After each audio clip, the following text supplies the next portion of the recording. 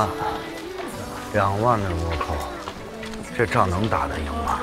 上次咱们两万人打了一千倭寇，打了半年都没打赢。得了吧！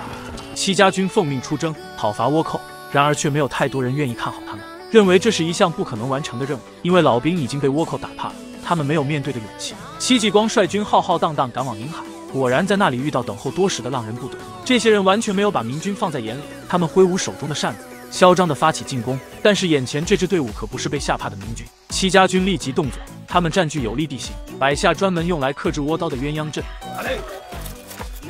浪人发现情况不对，先用火枪试探，结果发现明军的盾牌居然打不穿。因为戚继光早就发现明军的盾牌防不住火枪，所以他用藤甲盾牌替换掉木质盾牌，令防御效果大增。浪人首次失利，气得直跳脚，抽刀就向前冲去。令他们没想到的是，这种藤甲盾牌不仅能抵挡火枪，对倭刀也有克制。